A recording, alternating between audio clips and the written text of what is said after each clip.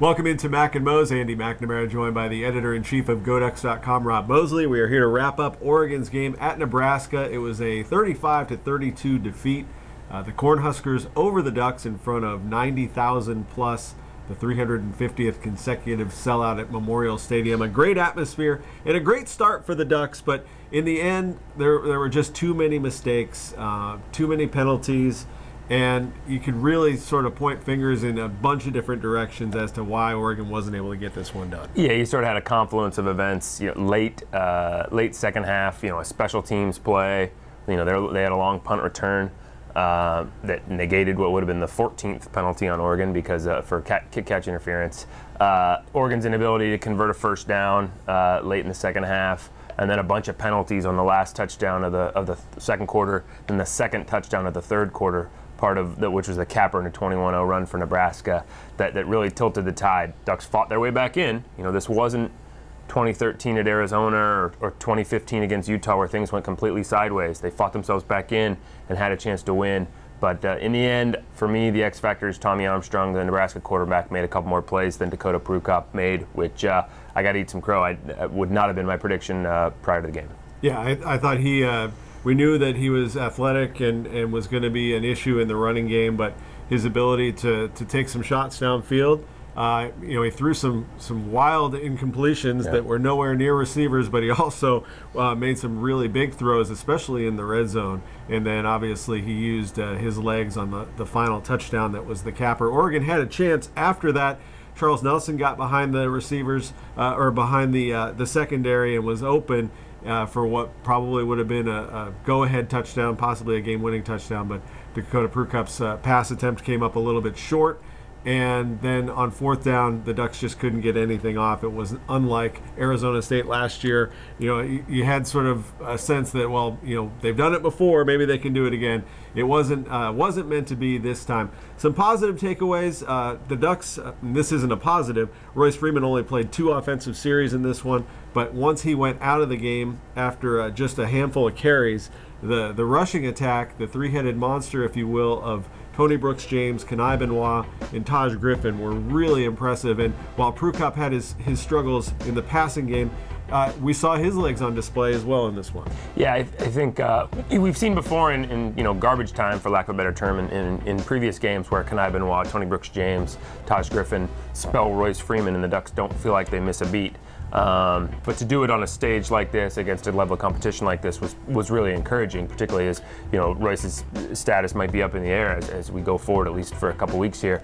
Um, yeah, you know I think defensively you start five new guys. You know they mostly held their own. I thought they got tired during that 21-0 run a little bit.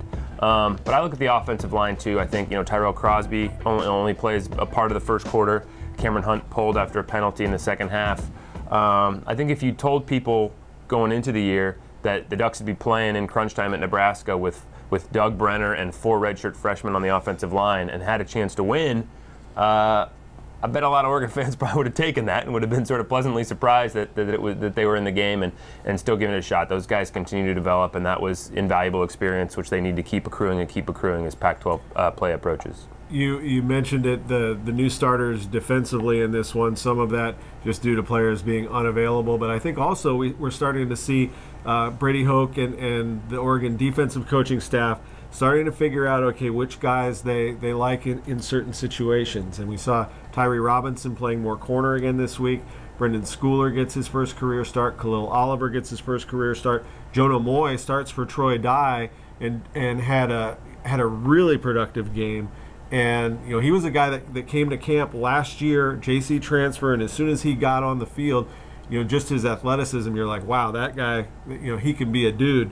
And and he showed, uh, you know, I, I was really impressed you know, I hadn't seen a whole lot out of him in fall camp and then early in the season, but it seemed like uh, late against Virginia and then this entire game against Nebraska, he's starting to figure some things out. Yeah, and you know, I, we certainly don't see the game the way coaches do, and you know, gap assignments and all that things. But I thought Jimmy Swain uh, got in on some plays, and Johnny Ragin had a career day.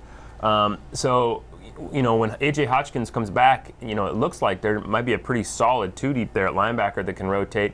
Uh, I think the Tyree Robinson move to corner, you know, paid a lot of dividends because he, he, he may be better suited for that spot. And I think they really liked what they got out of Brenden Schooler and Khalil Oliver at safety might have missed Schooler uh, more than we, we would have guessed in the second half uh, when, when, he was out of the game. Defensive line still sorting some things out. Drayton Carlberg got a start. Uh, it doesn't sound like that. You know, he made much of an impression one way or the other with coaches. Um, but uh, playing without Jalen Jelks, um, you know, the Ducks played without their leading tackler coming in the game, Troy Dye. They played without their leading sack guy coming in the game, Jalen Jelks. They played without their leading rusher, Royce Freeman, for most of the game, and their best offensive lineman, Tyrell Crosby, for most of the game. And it was a it was a competitive game right to the end. And again, that's the sort of thing where if you say going in uh, that those would, that would be the case, you might be pleasantly surprised. But um, obviously, the penalties and the two point situation, um, you know, you can argue about the, the, the, whether to make that call until you're blue in the face. The bottom line is they feel like Charles Nelson in that role is an X factor that can steal points for Oregon. Um, and, and, that if they execute things well, that can be the sort of edgy thing that Oregon does that nobody else does that, that sets them apart and gives them an edge. It just wasn't executed the way they wanted it to be. Yeah, 35 to 32. The Ducks go down in this one. Uh, 35 points allowed, but really the penalties, as you mentioned, also the ability, the inability of the of the offense in a couple of situations to prolong drives at all. You touched on it at the end of the second quarter. To me, that was really the turning point in the game. The Ducks get a great defensive stop. They get the ball back with a little over a minute to play, so they can either kill the clock and go into halftime up. Uh, at that point, it was 20 to seven or you know maybe they can get some points. Maybe they can move it into field goal range and and, and steal uh, steal a couple more points before halftime. Instead, they only take 15 seconds off the clock. The punt was was not good, and then it was returned.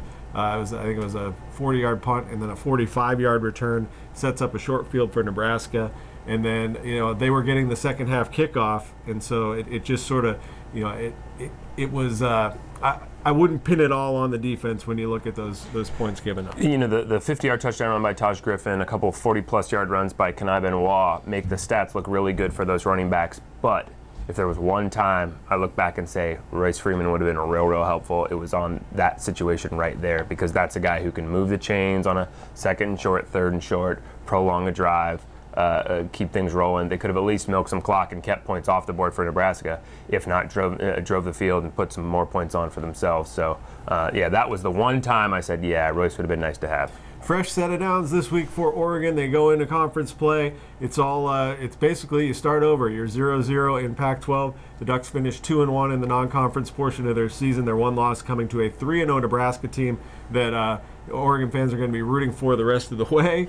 Uh, and and you know there's still certainly a lot a lot uh, to build on as they go into the Colorado week. Uh, that is a 2:30 kickoff on Pac-12 networks. It's the Ducks and the Buffs.